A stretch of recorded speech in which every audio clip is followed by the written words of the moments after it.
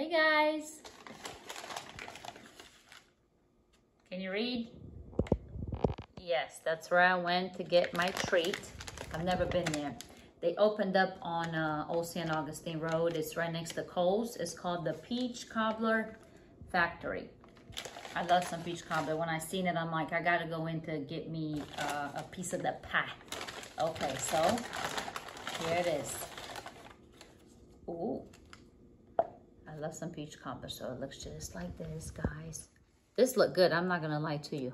Looks like something your grandma might, might make in the kitchen. So let's do this number right here. Come out, peach cobbler.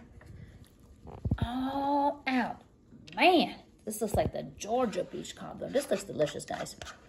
It's on, like I stated, Old St. Augustine Road over there by Kohl's and Five Guys. Get down.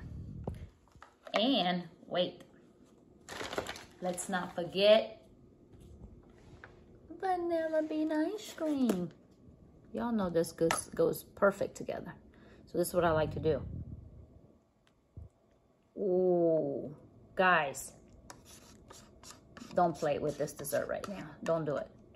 Trash, trash, trash. This is the name again for you guys to go try it out. St. Augustine Road. Let's bite into it. I'll tell you all about it. Let's see how it is. Wake me up before you go. go. Delicious. Guys, go get you some peach cobbler. It's warm and soothing and delicious. I love it. Mmm. A must.